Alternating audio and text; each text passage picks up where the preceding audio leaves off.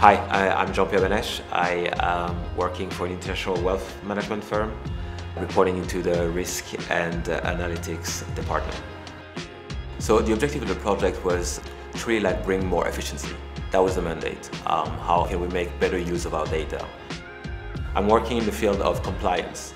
The first problem that we have is how do we collect data? How do we gather that data? That's the first problem that we have actually.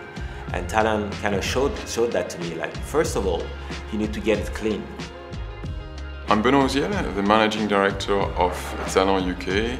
We do think uh, at Talan that we can do things quicker, uh, more efficiently.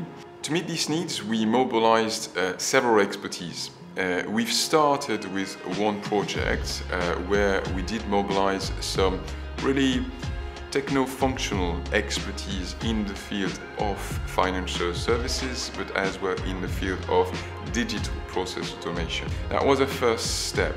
Smart transformation and automation services were built um, to answer the needs of business leaders for a more efficient, uh, flexible, scalable and modern way to transform their processes.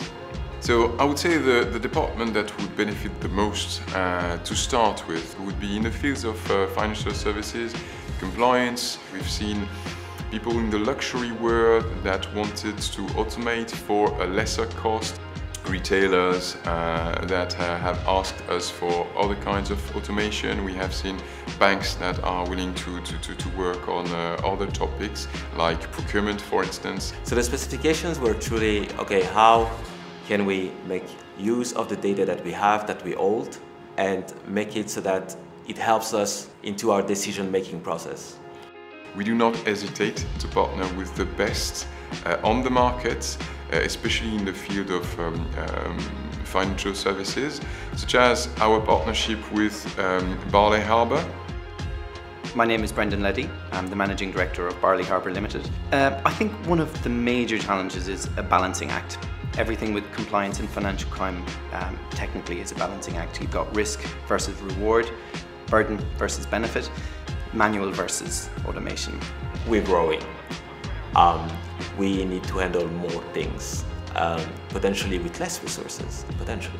You had this process, it was taking maybe um, two or three hours per employee per day.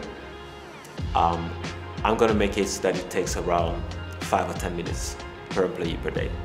So we do offer consulting services that covers business expertise uh, in the fields of, for instance, if I quote financial services, compliance, risk, surveillance. And we do follow up on um, providing our clients um, some automation tools that will help them to tailor their processes, automate and scale. I think the thing with smart automation is that it helps from a resourcing perspective. So you've got a lot of manual processes that ordinarily people in the compliance department are not usually enthused about.